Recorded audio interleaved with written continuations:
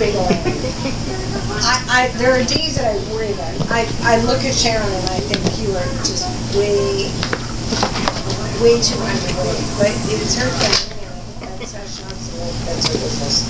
Um, but she comes, we both come into work and we're fine, you know, sleeveless and we're fine. Because we both get there at about seven in the morning. They haven't cranked on the air.